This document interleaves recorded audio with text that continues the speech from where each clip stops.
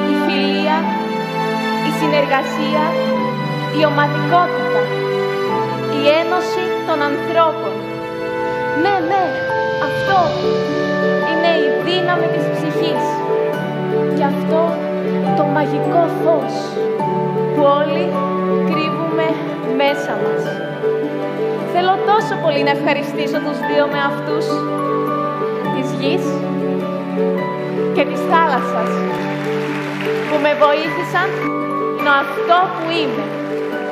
Η Ζώε το ψαράκι.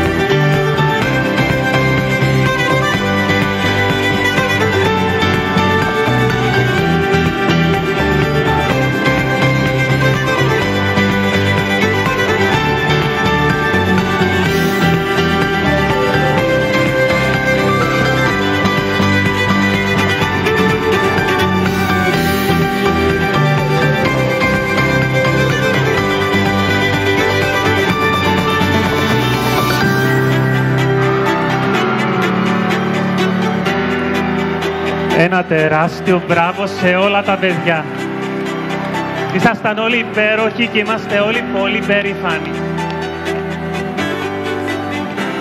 Θερμές ευχαριστίες σε όλους όσους βοήθησαν πίσω στα παρασκήνια και στη γραμματεία της σχολής μας, Αθηνά, Ελευθερία και Μαριλένα. Στο μακιγιάζ τη Γεωργία Καραγιάννη